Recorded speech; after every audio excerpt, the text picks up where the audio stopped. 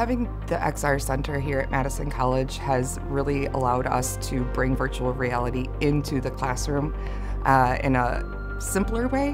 When we first started, we had laptops and headsets and backpacks, and we were hauling these things from campus to campus, room to room. I think we only had maybe four at the time. So we were building all this content, and it was really exciting, but actually getting it into the students and faculty's hands was an obstacle. And so Bill and I knew that if we wanted virtual reality to really take off, we needed to have a dedicated space. We needed to have high end uh, machines and headsets for our students and faculty to make it the best experience it could possibly be.